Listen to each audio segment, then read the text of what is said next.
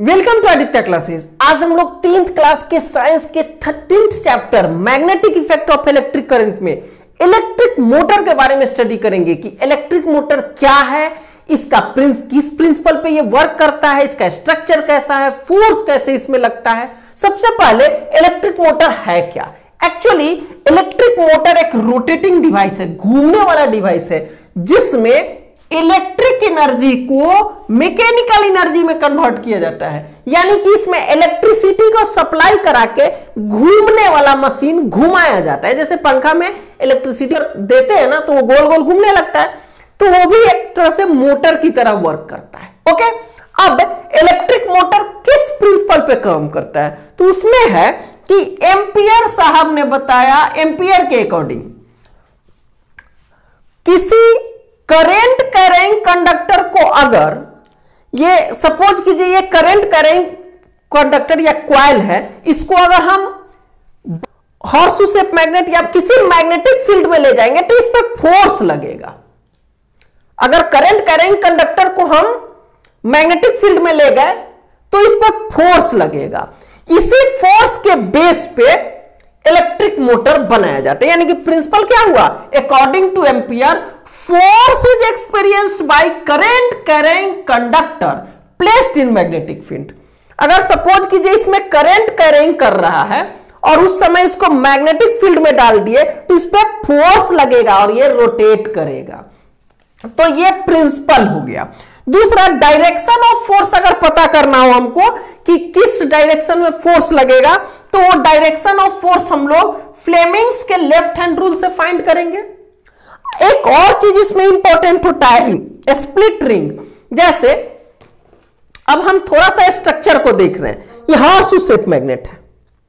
ये हमारा हॉर्सू सेप मैग्नेट है। इस हॉर्सू सेप मैग्नेट में अगर रेक्टेंगुलर क्वाइल में रख रहा हूँ, ये रेक्टेंगुलर क्वाइल है। अगर हॉर्सू सेप मैग्नेट के भीतर हमने घुसाया, मान लीजिए एन पोल है और ये एस पोल है तो मैग्नेटिक का डायरेक्शन ऐसे हो जाएगा। मैग्नेट का। और इसमें करंट सपोज़ कीजिए ऐसे जा रहा है।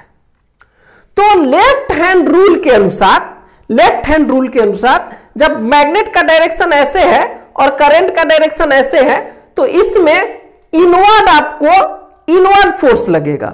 यानी कि ये वाला पोर्शन ऐसे घूमेगा। और इस वाले पोर्शन पे, ये जो ऊपर वाला है, इस पे इस पे अंदर की ओर फोर्स लगेगा, इस पे ऊपर की ओर। और इस तरह से ये ऐसे घूम जाएगा। फिर इस पे, यहाँ जैसे ही आएगा तो इसमें अंदर रहेगा, इस पे ऊपर रहेगा और ये फिर ऐसे घूमेगा और इस तरह से ये रोटेट करते रहेगा। इस रोटेशन में एक और चीज़ हमको देखना होता है। यहाँ पे स्प्लिट रिंग लगा होता है। देखिए, ये हाफ़ फिर इधर से हाफ़ दूसरा है। तो जब करंट इधर से हम लोग सप्लाई करते हैं सपोज़ कीजिए इधर से हम करंट सप्लाई कर रहे हैं, देखिए ये करंट सप्लाई हो रहा है। तो जब ये हाफ़ घूम गया तो अब इधर से करंट सप्लाई होने लगा। जब यहाँ पे था तो इसमें टच था। और जब ये घूमेगा तो इसमें टच हो जाएगा। तो हमेशा ऐसे ही करंट सप्लाई होगा। जब ये मुड़ेगा तो फिर इधर से करंट सप्लाई हो जाएगा। तो ये स्प्लिट रिंग का काम क्या है?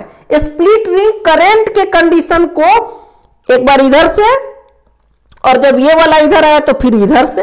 मतलब इस पोर्शन से एक बार जा रहा है, एक बार इस पोर्शन से जा रहा है। तो करंट के डायरेक्शन को अपोज कर देगा, जिससे ये कंटिन्यूअसली एक ही डायरेक्शन में रोटेट करते रहे। जैसे ये है तो ये ऐसे रोटेट किया, फिर दोबारा भी ऐसे ही रोटेट करेगा, और इस तरह से ये गोल गोल घूमता रहेगा। मैग्नेट, यानी हॉर्सू शेप मैग्नेट में रेक्टेंगुलर क्वाइल डाल दिया क्वाइल डालने से क्या हो गया? जब करंट फ्लो कराएँगे तो इसमें डाउनवर्ड और इसमें अपवर्ड फोर्स लगेगा और ये गोल गोल घूमेगा। ओके ये हो गया आपको इलेक्ट्रिक मोटर का स्ट्रक्चर और फ़ंक्शन इसमें स्प्लिट रिंग क्या किया?